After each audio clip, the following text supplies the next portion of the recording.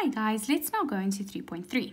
Okay, still the same scenario with ottomans and the upholsterer, and let's see what the next question is about. So it says, John asked the upholsterer to use synthetic leather to cover each of the ottomans.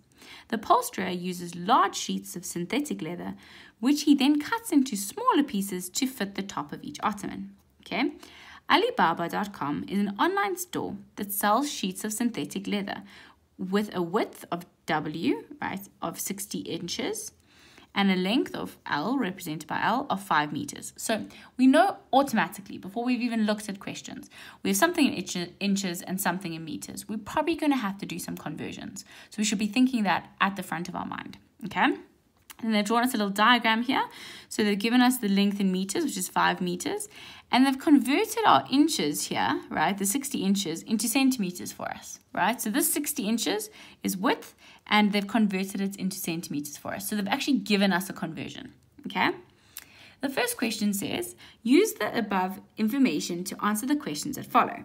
So it says, given that 60 inches equals 53.6 centimeters, we know that, we just saw that, complete one inch to how many centimeters? Okay, so this is basically simplifying a ratio. So let's write this down, 3.3.1. So we know that 60 inches equals 153.6 centimeters. Now we want to make this one inch, okay? So what did we do to this side to get from 60 to 1? We divided that side by 60. What do we what we do to the one side? We have to do to the other. So to get the equivalent in centimeters, right, you divide it by 60. So 1 inch is 2.56 centimeters. Okay, so it's very important that you see this as a ratio. It's similar to like an exchange rate. It's just showing different measurements, right, and how they're related to each other. Okay. Let's now go to the next question.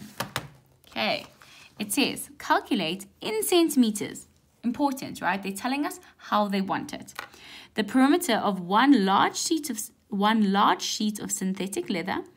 You may use the following formula. Okay, so it wants the perimeter. Okay, what does the perimeter mean, guys? It means that if I stand here and I'm an ant and I walk the whole way along the sheet and in back where I started, how far have I walked, right? So it would be this width plus that length plus this width plus that length. And that's why we just say 2 times length plus width because we walk two widths and two lengths. Okay, so we know that perimeter equals 2 times length plus width. That's what they've given us.